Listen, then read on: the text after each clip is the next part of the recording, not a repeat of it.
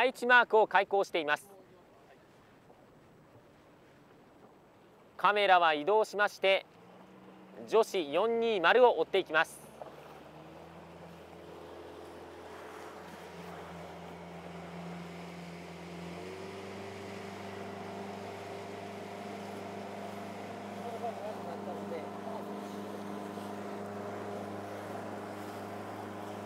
この若浦の海なんですが風が弱くなってきています。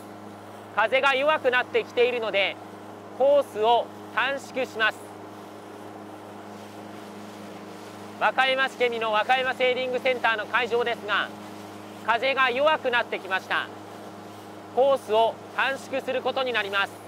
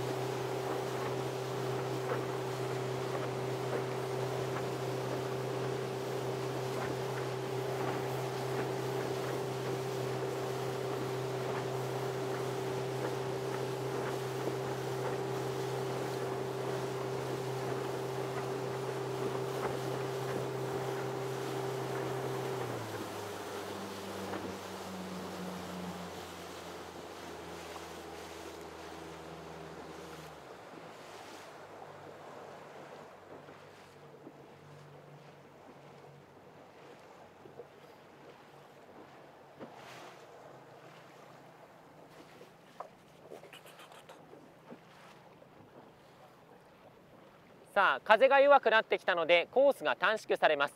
その場合は青のマークではなく赤のマークが置かれます。普段のマーク開口の時は青のマークが置かれているんですがコースを変更短縮する場合には赤のマークに変わります。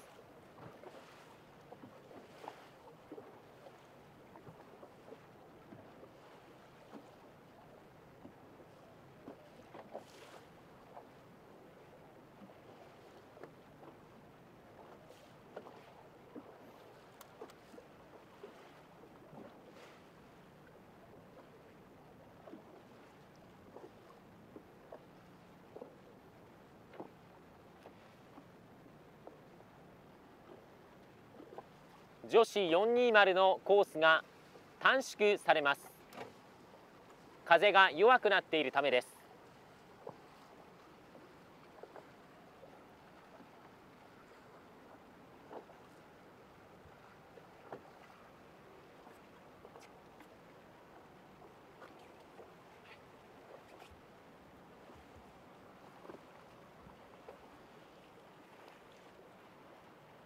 現在和歌浦の海では女子420女子 FJ の第5レースが行われています。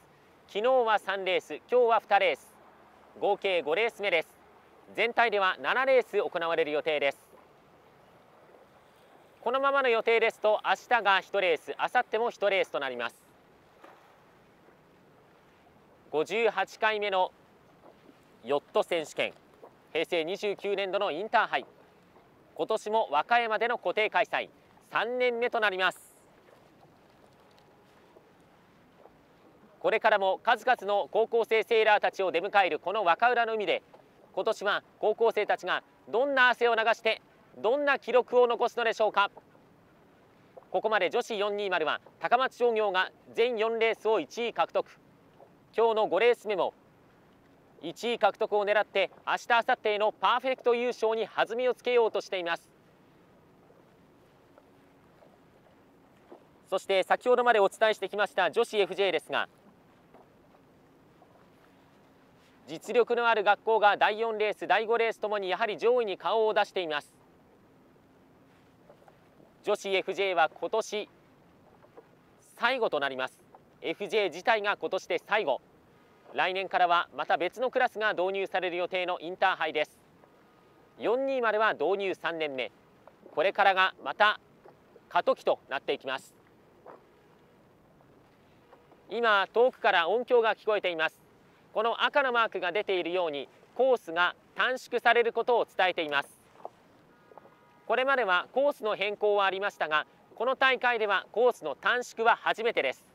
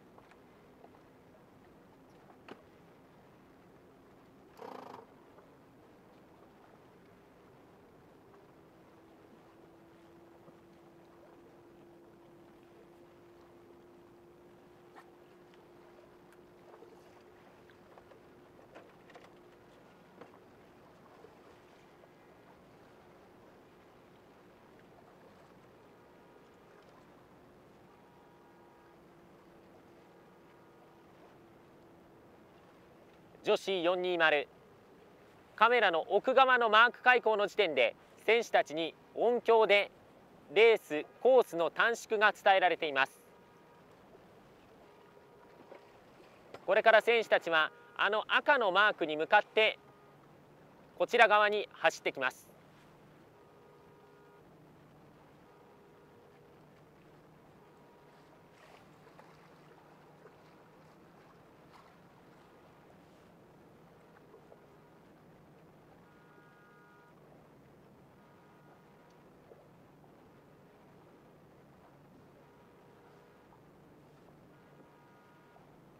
女子420これが第3マークの開口となります。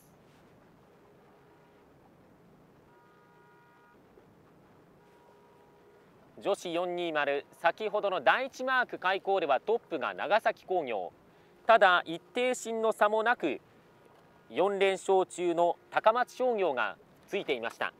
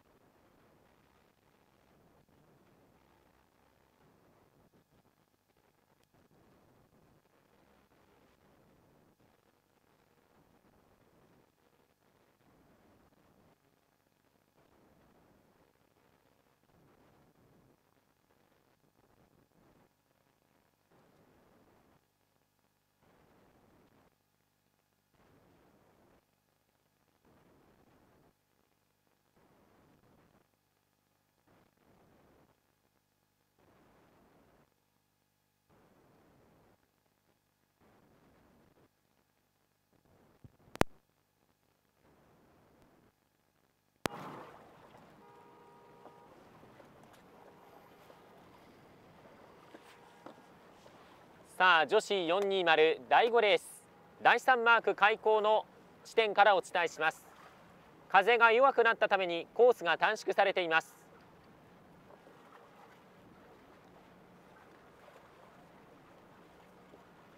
今カメラの横には赤のマークが置かれていましてそのマークに向かって選手たちが走ってきています。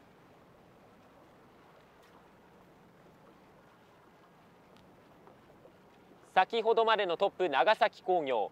2位が高松商業でした。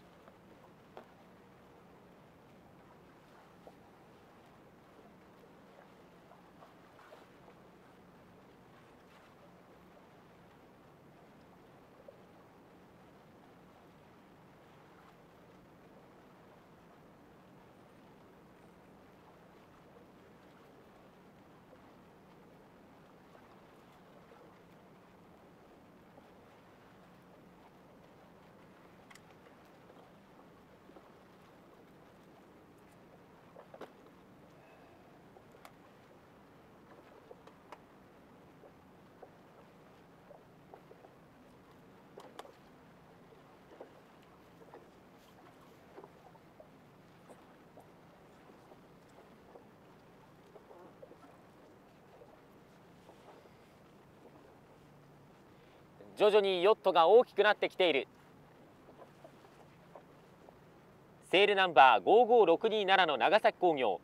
セールナンバー55066の高松商業。先ほどまで競っていました。まず画面の手前側には高松商業が見えます。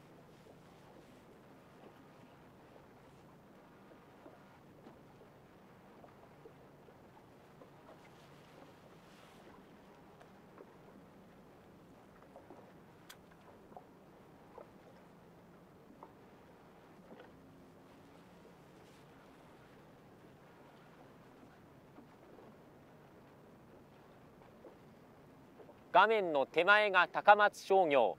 そして画面の奥長崎工業です。長崎工業が画面の奥手前が高松商業。先ほどは一定審査で長崎工業がリードしていました。さあこのマーク開口第3マーク開口では高松商業が先に回りそうです。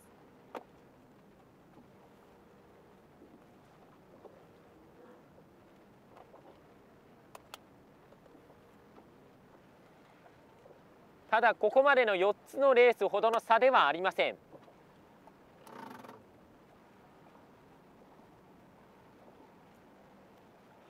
ただコースは短縮されています。残りの距離が短くなっている。その中で高松商業がトップで第3マーク開口ここまで4連勝5連勝を狙います。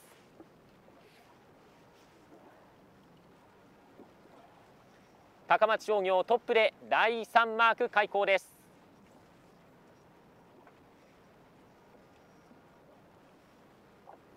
2位と3位の差がこれはかなり空いています。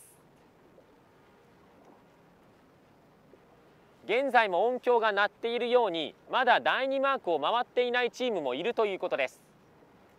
そう考えると第3マークすでに過ぎている高松商業。かなり2位以下は引き離しています。2位の長崎工業がなんとか見える範囲にはいますがやはり高松商業ここでまた随分離してきた。第4レースの再現なるか高松商業どこまで他のチームを離すでしょうか。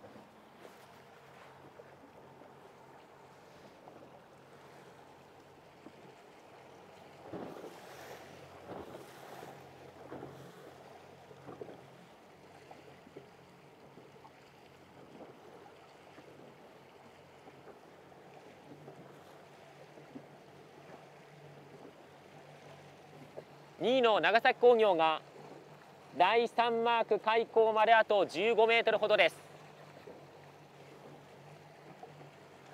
その間に高松商業をひた走っています。